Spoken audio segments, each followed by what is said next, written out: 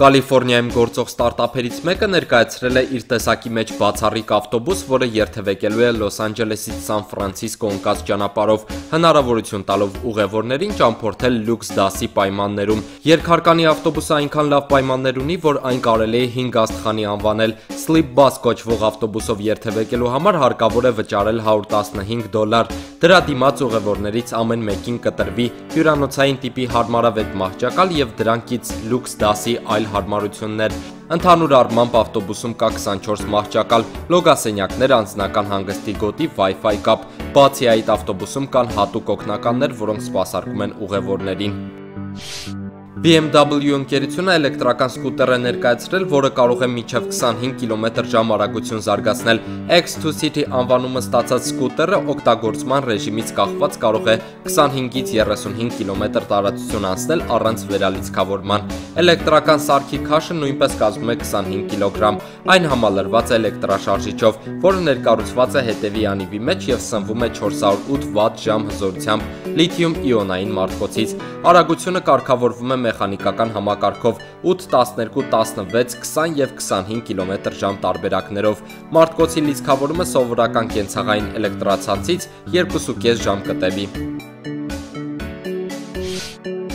Թուրինյան Կամալ դիզայներական ստուդիան արտասովոր նախագիծ է ներկայացրել ապագայի էլեկտրամեքենա, որը նաև ձիերի է օգտագործում որպես այլ ընտրանքային ուժային համակարգ։ Իտալական նորույթը ստացել է Viva անվանումը հեղինակների մտահղացմամբ, ընթացքի ժամանակ ձիերի օգնությամբ մեքենան լիցքավորում է մարտկոցները, իսկ երբ ձիերը հոգնեն, մեքենան կգործարկի էլեկտրաշարժիչը։ Այն կարող է ինքնուրույն ընթանալ բացառապես սեփական էլեկտրաէներգիայի հաշվին։ Արտաքինից կոնցեպտը այնքան էլ նման չէ ավտոմեքենայի Կենայի թափքը իրենից ֆուտուրիստական պարկուճ է ներկայացնում։ Այն 7 մետր երկարություն ունի, 2.5 մետր լայնություն եւ 2 մետր բարձրություն։ Սրահը նախատեսված է 4 ուղևորի համար եւ նմանակում է երկու դեմ դիմաց տեղադրված բազմոցներով սենյակի։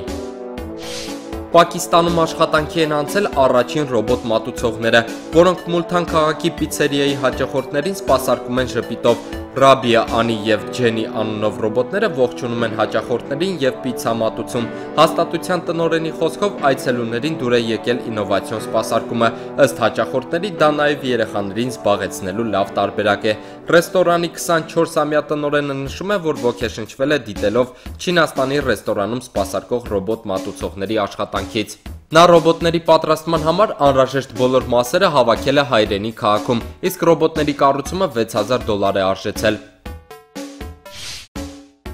Սա անօթաչու թրջող սարքի եւ շտապ օգնության մեքենայի համադրություն հանդիսացող հետաքրքիր փոխադրամիջոց է։ Հուշագրավ նորույթը ստացել է Drone Ambulance անվանումը։ Ստեղծողների խոսքով այն կարող է օգնել հազարավոր կյանքեր փրկել։ Ամեն տարի տասնյակ հազարավոր մարդիկ են մահանում ուշտեղ հասած շտապ օգնության պատճառով։ Մինչդեռ Drone Ambulance-ը կարող է էականորեն դեպի լավը փոխել իրավիճակը։ Հայտնի է, որ անօթաչուն ունի կոմպակտ մեքենայի մեծություն։ Դրանում կարող են տեղավորվել բժիշկը, հիվանդը, ինչպես նաև առաջին բուժօգնության համար անհրաժեշտ սարքավորումները։ Ի տարբերություն սովորական շտապօգնության մեքենայի, Drone Ambulance-ը կառուցման տեսանկյունից ավելի ծախսատար է, սակայն այն շատ ավելի էժան է, քան շտապօգնության ուղաթիռները։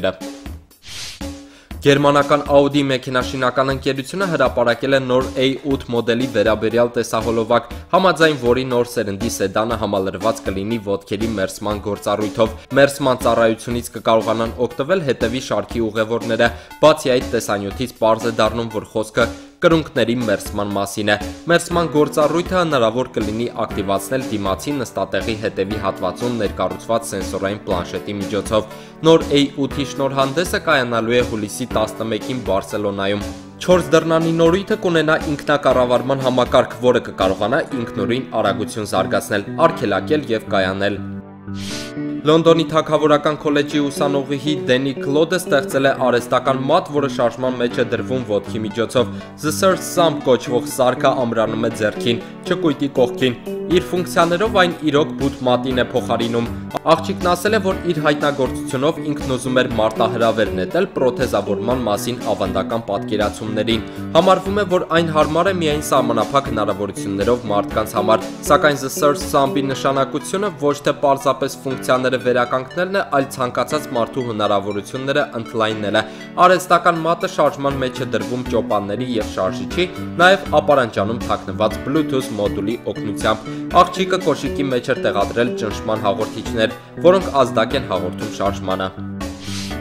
Ամերիկյան Tesla ընկերությունը սկսում է մեծ շուկայում իր առաջին ավտոմեքենայի Model 3-ի վաճառքը։ Գնորդներին շուրջ 30 Model 3 մագնիշի ավտոմեքենա կմատակարարվի մինչև հուլիսի 28-ը, որին կհետևի 1500 մեքենայի արտադրությունը սեպտեմբերին եւ եւս 20000 մեքենայի արտադրությունը դեկտեմբերին, երբ Տեսլան առաջին անգամ ներկայացրեց մեքենան անցյալ տարվա մարտին, շուրջ 400.000 հաճախորդ նախնական պատվեր տվեց։ Նորագույն մոդելը ներկայանալու է առնվազն 4 գույնով՝ կարմիր, արծաթագույն, մետալիկ մոխրագույն եւ սև Մոդել 3-ի նախնական արժեքը կազմում է 35000 դոլար, եւս 5000 դոլար արժե ավտոպիլոտ համակարգի տեղադրումը։ Tesla-ն 2016-ին շուրջ 80000 մեքենա է վաճառել ողջ աշխարհով մեկ, 50000-ը 2015-ին։ 100 կիլոմետր ժամանակությունը Model 3-ը զարգացնում է 6 վայրկյանում։ Նորագույն մեքենաները կարող են համալրվել նաև ապակյա տանիքով, ինչպես նաև խոշոր 15 դյույմ անկյունագծով պլանշետով։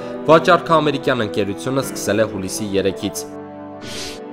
Instagram-ի սուի օգտատերը սոցիալական հարթակներում մեծ ճանաչում է ձեռք բերել իր եւ իր երեխայի ինքնատիպ լուսանկարների շնորհիվ։ Ինչպես բոլոր մայրիկները, ավստրալացի այս կինը նույնպես սիրում է իր դստերը նկարել։ Տեսնելով, որ նկարները չափից շատ են եւ արդեն մոռացվում են, նա որոշում է խմբագրել նկարները ստեղծագործական եւ արկածային մոտիվներով ու հրապարակել դրանք Instagram-ի իր էջում։ Սյուին իր էջը նկարագրում է որպես վիզուալ օրագիր։ Նա ունի արդեն 14000 հետևորդ եւ 2000-ից ավելի լուսանկար։ Իր երեխայի լուսանկարները նա խմբագրում է հայկական Pixar սոցիալական կայքի եւ ֆոտոխմբագրման հավելվածի միջոցով։ Instagram-ի այս օգտատիրոջը արդեն հասցրել են անդրադառնալ մի շարք միջազգային կայքեր։ Երևանում բացվել են արևային էներգիայով սնուցվող հանրային տրանսպորտի առաջին կանգառները։ Հուլիսի 7-ին Եվրամիության պատվիրակության ղեկավար Հայաստանում Եվրամիության դեսպան Պյոտր Սվիտալսկին փորձարկեց արևային էներգիայով սնուցվող հանրային տրանսպորտի առաջին կանգառը։ Կանգառները թույլ են տալիս մայրաքաղաքի բնակիչներին եւ այցելուներին անվճար լիցքավորելու բջջային հեռախոսները եւ թվային այլ սարքավորումներն արևային էներգիայով։ Յուրաքանչյուր կանգառ կարող է ամբողջովին լիցքավորել օրական 24 հեռախոս։